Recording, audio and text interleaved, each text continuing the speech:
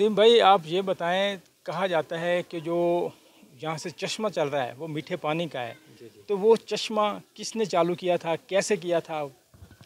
हजूर बाबा फरीदुद्दीन मसूद गंज शकर यहाँ पे जब आए तो गाँव के लोग पानी पा रहे थे यहाँ पे कुआँ था झील के दरमियान में। तो बाबा फरीदुद्दीन मसूद गंज शकर ने पानी तलब किया कि मुझे प्यास लगी है पानी दें। तो पानी आपको नहीं मिला बताया गया कि पानी कड़वा है किसी ने भी पानी नहीं दिया? पानी नहीं दिया तो फिर पानी कड़वा हो गया आपके हुक्म से।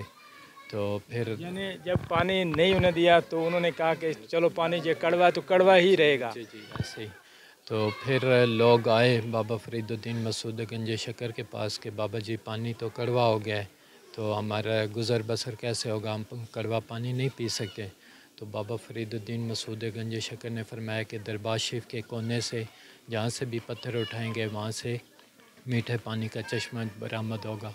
तो आप वहाँ से पानी ले सकते हैं। तो बाबा फरीदुद्दीन मसूद गंज शकर के ये अल्फाज की वजह से यहाँ पे चश्मा है। लोग पानी पी रहे हैं, बागात को लग रहा है पानी। दिन रात 24 घंटे पानी चल रहा है। जी नाज़रीन ये वो हस्तियाँ थी जिन्होंने अल्लाह ताला को राज़ी किया और अल्लाह ताला ने इनकी बात मानी। और यहाँ से मीठा पानी चश्मा बह गया। अच्छा ये पानी कुदरत की तरफ़ से निकल रहा है हाँ यहाँ ये कुदरत की तरफ़ से निकल रहा है पानी है मीठा पानी है? मीठा पानी है पीने के लिए कलर कार वाले इस्तेमाल कर रहे हैं। अच्छा ये पानी सदियों से यहाँ पर ऐसे ही चल हाँ, रहा है? ये तकरीबन पाँच सौ साल पहले पाँच सौ साल पहले से ये पानी ऐसे ही चल रहा है? ऐसे ही चल रहा है। यानी ये कभी रुका नहीं सर्दी हो कभी कम नहीं हुआ। ये गर्मी हो जैसे चल रहा है ऐसे ही चल रहा है। सर्दी हो लगातार एक ही तरफ़ चल रहा है। अच्छा ऐसे ही चल रहा हाँ। है ये पूरे कलर कार के जो लोग हैं वो इसी से पानी पीते हाँ हैं। ये मीठा पानी सिर्फ़ कलर कार में यही है।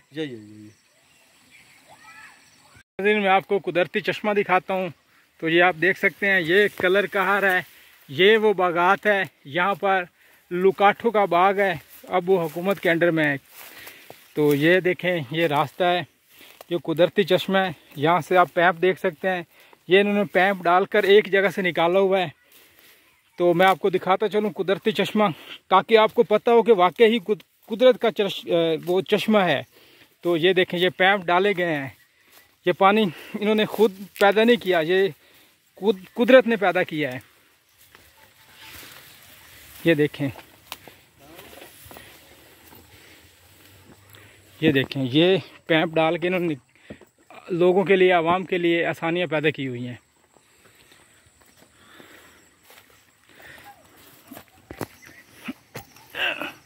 अच्छा ये है।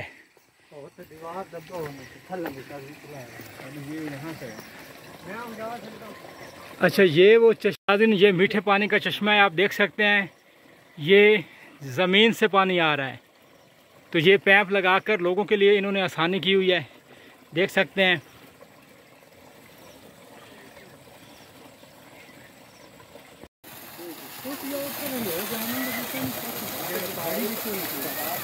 वो देखिए